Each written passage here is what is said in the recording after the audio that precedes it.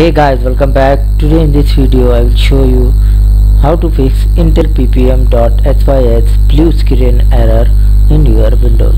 So for this guys just go to start. Type here registry editor.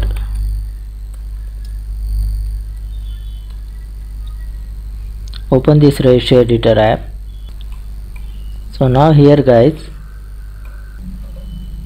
first you open this HK local machine folder like this next open the system folder.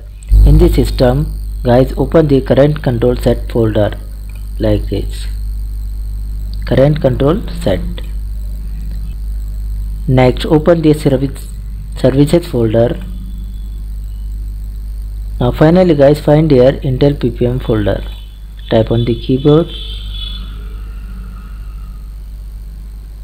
Intel ppm would select this folder in the in the right side panel. Oh, double click on the start file. Give the value 4 and select ok. After this guys you restart your pc hopefully it will fix your issue. So thanks for watching this video. Please like share and subscribe to my channel